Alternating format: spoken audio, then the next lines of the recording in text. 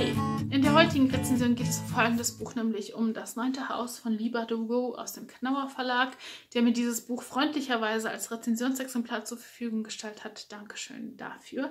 Es kostet 18 Euro in einer Klappbroschurausgabe in Deutschland, hat 521 Seiten von der Geschichte her und hat von mir dreieinhalb Sterne bekommen. Wie ich es fand, dazu gleich mehr, aber erstmal äh, zu den Inhalt dieses Buches. Worum geht es? Es geht um unsere Protagonistin Alex und die hatte es bisher gar nicht so einfach, denn äh, ja, sie ist in jungen Jahren schon in ein Milieu abgedriftet, wo man eigentlich nicht sein sollte. Also mit Drogen, mit ähm, zwielichtigen Geschäften, sagen wir mal so. Und ja, sie hat nicht das beste Leben geführt, bis sie eines Tages da rausgeholt wird von unbekannten Menschen, die ihr dann auftischen dass ähm, ja, sie wissen, dass sie Geister sehen kann, was sie bis dato eigentlich verschwiegen hat den Menschen. Und dass sie deswegen für sie arbeiten soll. Also sie fängt fortan an, für das neunte Haus zu arbeiten. Das ist eine quasi Studentenverbindung auf dem Campus der Yale-Universität, wo sie dann fortan auch anfängt zu studieren. Sie muss das studieren, um da leben und arbeiten zu können, klar. Und äh, das neunte Haus ist das neunte Haus der Studentenverbindungen und es gibt acht weitere Studentenverbindungen, die da in Bezug zu stehen und die praktizieren quasi so eine Art magische Rituale, um verschiedene Sachen äh, für sich bewirken zu können. Und äh, Alex äh, ist im neunten Haus, wie gesagt, das ist dazu da, das alles zu überwachen, dass alles auch so vonstatten geht, dass außenstehende Leute davon nichts mitkriegen, es geheim bleibt und es sich in äh, relativ okayen Bahnen bewegt, sodass keine Leute ja, dazu Schaden kommen. Und dann eines Tages wird eine Leiche eines jungen Mädchens entdeckt in der Nähe des Campuses und Alex muss rausfinden, hat das was mit ihrem Job zu tun, hat es was mit der Magie auf dem Campus zu tun oder ist es eigentlich nur ein Zufall, dass sie da in der Nähe gefunden wurde. Mehr sage ich dazu nicht. Müsst ihr selber rausfinden, was es damit auf sich hat. Und so wie ich das jetzt zusammengefasst habe in der langen Zeit, so hat sich das Buch auch angefühlt. Also ich habe das Gefühl, da sind viel zu viele Informationen drin und viel zu viele Plotlines, die zusammengeführt werden. Zuallererst, ich habe den größten Respekt an Liba Dugo, dass sie sich das alles ausgedacht hat. Es gibt da so viele Details, so viele Informationen zu dieser Welt, die sie aufgebaut hat so viele Dinge, die einfließen, äh, einfließen.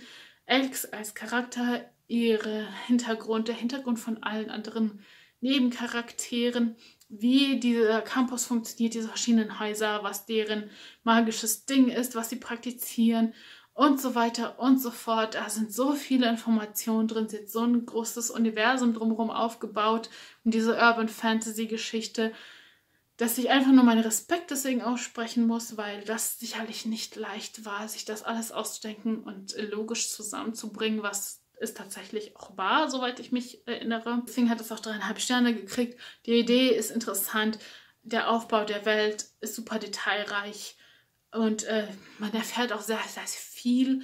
Und ich finde diesen Kontrast auch interessant zwischen Alex, ihrem Hintergrund und ihrer quasi Vulgarität in ihrem Charakter, die dann auf einmal in so einer Umgebung ist, wo alle seriös sind und alle ernsthaft studieren in einer Elite-Universität und dass sie da nicht so richtig reinpasst. Dieser Kontrast zwischen diesen beiden verschiedenen Welten ist ja auch super interessant gemacht. Allerdings muss ich sagen, es hat für mich nicht so richtig funktioniert. Ich weiß nicht, woran es lag. Ich muss als Disclaimer am Anfang sagen, ich habe in letzter Zeit sehr, sehr viel Fantasy gelesen, sehr, sehr viele dickere Fantasy-Bücher, auch viel vom Knauer Verlag. Wenn ihr mich länger verfolgt habt, ich das mitgekriegt vielleicht. Und ich glaube, es ist einfach mir jetzt so viel geworden. Und jetzt, ich habe das schon in den letzten Monaten gemerkt, dass es langsam ein bisschen viel wird. Aber mitten im Lesen von diesem Buch habe ich das extrem gemerkt. Ich kam einfach nicht mehr voran in diesem Buch. Zum einen hat mich das jetzt nicht so super doll gepackt. Zum anderen war es mir zu viel Fantasy. Allgemein habe ich viel Fantasy gelesen und dann ist hier auch noch so viel verschiedene Details über fantastische Dinge drin, dass es für mich zu viel wurde und ich erstmal Abstand nehmen musste. Und ich habe danach zwar weitergelesen und fand es dann auch zu Beginn auch wieder richtig gut und reinziehend, aber je weiter ich gekommen bin, es ist ja auch ein langes Buch, umso mehr habe ich wieder gemerkt, dass mir jetzt wieder zu viel wird, dass ich jetzt froh bin, wenn ich es durchhaue und einfach nur Sachen lesen kann, die nicht unbedingt so viel mit Fantasy zu tun haben, die nicht so schwerfällig sind und nicht so viele Informationen beinhalten. Es war mir einfach zu viel. Ich weiß nicht, ob es dieses spezielle Buch ist, das äh, ja mein Fass zum Überlaufen gebracht hat, oder ob es jedes andere Fantasy-Buch auch gewesen wäre. Aber mir wurde alles zu viel. Und nicht nur allgemein Fantasy, sondern auch hier drin. Ich hatte am Ende das Gefühl, die Frau wollte, also die Autorin wollte einem schockieren. Also es gab mindestens drei bis vier Twists in diesem Buch. Man hatte das Gefühl, die ähm, Fall jetzt aufgelöst zu haben und dann gab es noch einen Twist. Und dann gab es noch einen Twist und dann gab es noch einen Twist. Und Alex hat die ganze Zeit gedacht, ja, das ergibt aber gar keinen Sinn. Da sind hier und da und da noch Löcher in der Geschichte. Dann versucht sie das noch aufzudecken und dann gab es noch einen Twist, wie gesagt. Dann hat sie wieder gesagt, ja, aber da fehlen doch immer noch die Antworten zu dieser und dieser Frage und dann kam noch ein Twist. Wie gesagt, drei bis vier Mal gab es das da drin. Das war mir dann auch zu viel. Es gab so einige Neben-Sideplots, die für meinen Geschmack auch viel zu intensiv behandelt wurden. Gut, dass es drin war, gut, dass sich so viel ausgedacht hat, aber für mich wurde zu viel Zeit teilweise mit diesen Nebenplots verbracht. Der einzige wirklich interessante Charakter für mich war Darlington in diesem Buch, aber der ist nach einem bestimmten Zeitpunkt hier auch nicht mehr so viel vorgekommen. Das hat seinen Grund, will ich jetzt nicht erwähnen, weil ich nicht will, dass ihr gespoilert werdet. Aber das fand ich dann schade. Ich muss sagen, dass ich mit Alex an sich nicht so viel anfangen konnte. Ich fand diesen Kontrast interessant, den sie gebracht hat, aber ich fand das für mich persönlich nicht so ansprechend. Also ich mochte ihre Vulgarität nicht so gerne, weil ich das Gefühl hatte, es passt nicht da rein. Das soll ja auch nicht reinpassen. Es soll ja den Kontrast darstellen.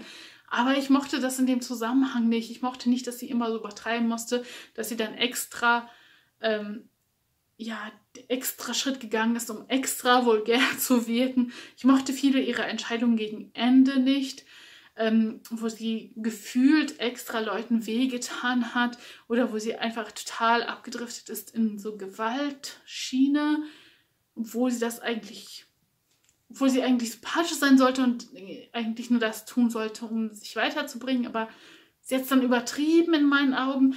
Also ich mochte sie als Protagonistin nicht so gerne. Ich kann sie verstehen, ich finde es auch interessant, wie die Idee dahinter ist, aber die Idee war jetzt nicht meins dass sie als Kontrast da drin ist. Ich hätte da so einen Protagonisten wie Darlington viel interessanter gefunden. Ich fand das so viele Informationen da drin, also über jedes Haus wurde dann immer wieder was erzählt. Sobald man das Gefühl hatte, jetzt habe ich was verstanden, ist man zu einem anderen Nebenplot gegangen und hat auch da wieder Hintergrundinformationen erzählt. Und es kamen so viele Informationen innerhalb dieser 500 Seiten, dass ich mir bei weitem nicht alles merken konnte. Es war mir zu viel. Irgendwann konnte ich Charaktere nicht mehr auseinanderhalten. Ich wusste nicht mehr, wer das ist, weil er gefühlt erst vor 300 Seiten das letzte Mal aufgetaucht ist. Und seitdem weiß ich nicht mehr, wer das eigentlich war, weil er nicht so eine große Rolle gespielt hat. Es gab viele Rückblenden in die Vergangenheit von Alex, was super interessant war, wie sie dahin gekommen ist, wo sie dahin gekommen ist. Aber es hat halt nicht so eine super große Rolle gespielt obwohl sie unsere Protagonistin ist, deswegen war es zu Recht da. Aber zum Beispiel so Rückblicke in Darlingsons Hintergrund fand ich auch super interessant. Aber dadurch, dass er halt irgendwann nicht mehr gekommen ist, nicht mehr vorgekommen ist, war das halt auch super unnötig. Und so gab es eigentlich einige Sideplots, die dann am Ende wieder reingespielt haben und äh, im Großen und Ganzen Sinn ergeben haben. Aber währenddessen ich mir gedacht habe, ich muss das jetzt nicht bis ins Detail hören, weil ich das Gefühl hatte, das ist unwichtig. Es war am Ende dann so ein bisschen wichtig, aber dass ich so viel Zeit damit verschwendet quasi habe, mir zu versuchen, das zu merken, das war es nicht unbedingt wert. Versteht ihr, was ich meine? Also es ist an sich super beeindruckendes Buch und ich verstehe auch alle, die das super toll fanden. Ich fand es zu viel. Es hat bei mir nicht das gebracht, was es bei anderen gebracht hat. Ich, es hat bei mir nicht funktioniert. Ich bin super beeindruckt von der Autorin, dass sie das so viel Arbeit da reingesteckt hat, aber es hat für mich nicht funktioniert, wie es funktionieren hätte sollen, wie sie dich, die Autorin das gedacht hat. Und das fand ich furchtbar schade. Ich weiß nicht, ob es an dem Punkt einfach lag, wo ich es gelesen habe. Vielleicht hätte ich es besser gefunden, wenn ich es später gelesen hätte oder letztes Jahr noch. Aber jetzt gerade hatte ich da leider keinen Spaß dabei und ich konnte es nicht erwarten, dass ich das einfach beende, weil es für mich zu einer Arbeit verkommen ist, das Buch zu lesen und nicht zu einem Vergnügen. Und ich wollte es einfach nur hinter mir haben. Und so sollte ein Buch nicht sein. Also ja, ich glaube, es ist einfach die Connection zwischen mir und diesem Buch hat nicht gestimmt. Das bedeutet nicht, dass es ein schlechtes Buch ist, bei weitem nicht. Und wie gesagt, ich verstehe, dass es sehr vielen auch sehr gut gefallen wird und kann und äh, tut auch. Und ich würde jetzt niemanden davon abraten. Ihr müsst euch nur im Klaren sein, dass es halt sehr, sehr viel Info ist. Und ähm, ja, wenn ihr sowas mögt, viel Spaß. Ich empfehle es euch dann. Aber wenn ihr denkt, im Moment ist das nicht so das, was ich gerne lesen möchte, dann ähm, überlegt es euch nochmal. Lest vielleicht die Leseprobe. Es könnte euch vielleicht auch zu viel sein, ich weiß nicht. Für mich war das jetzt nicht das ideale Buch zu dem idealen Zeitpunkt. Leider. Aber dreieinhalb Sterne ist trotzdem eine gute Bewertung. Und wie gesagt, ich kann es empfehlen, wer auf sowas super Lust hat. Und ja, schreibt mir gerne in die Kommentare, was ihr so darüber denkt, über dieses Buch oder lieber du's, lieber du Bücher allgemein.